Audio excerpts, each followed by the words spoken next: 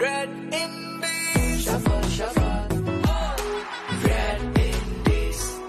Shuffle. Shuffle chat. Is there still chills inside my bones? Mine can't get back to logical. Some days okay, some terrible. First time I'd like to see a ghost if it was you.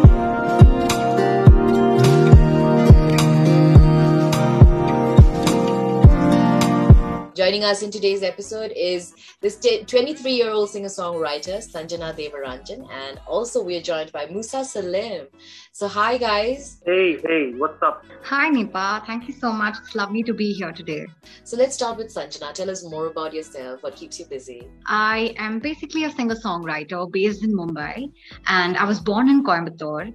And currently, I'm working a day job. I also like, you know, teach music and I put out my independent stuff. I've been doing that for close to two years now.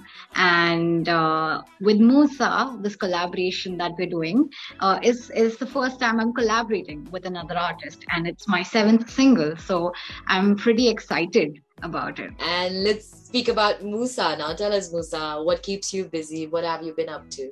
Hey, I'm Moosa Saleem. I'm a singer songwriter, music producer from Kashmir basically, but I'm based in Mumbai.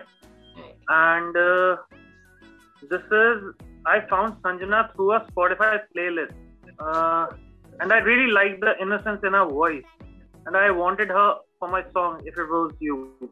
So that's how. Then I hit her up and requested her to collaborate on the track, and that's how it happened. I've been composing music and producing music from past six years now. I have released four instrumental albums and 20 singles Wow. my music has been supported by uh, Martin Garrix. He has played it on his radio show.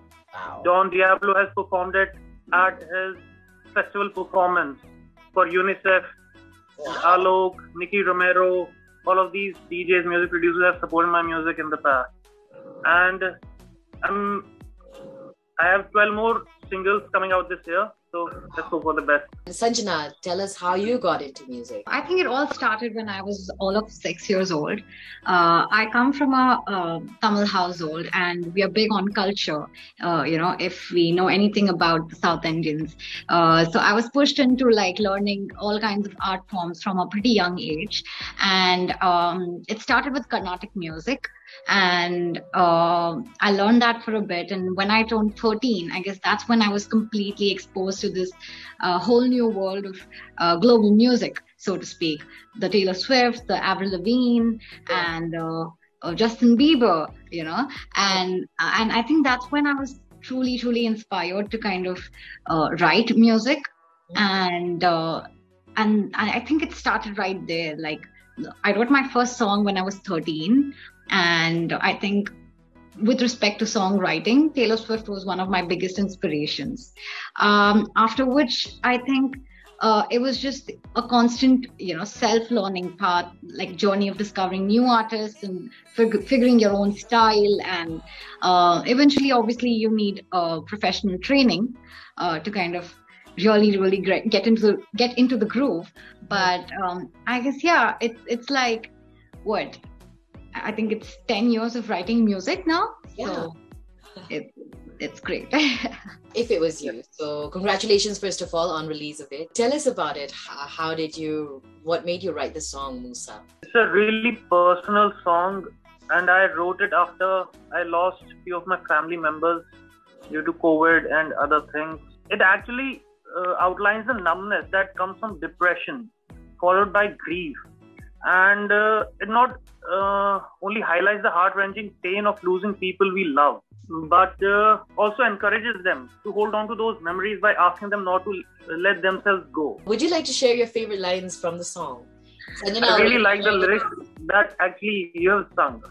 That's the that's my favorite part, lyrically as well and melodically. There are melodies I can't get out of me now. That ever rearranged, can't stay in one place. Gone by the end of day, I guess they don't wanna stay. Unlike our memories. Mm. Going on five years old. When I inhale, feel your soul.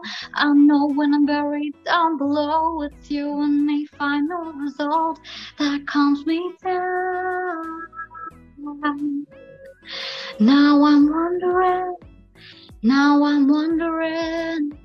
93.5 Red FM. It's rocking. It's rocking.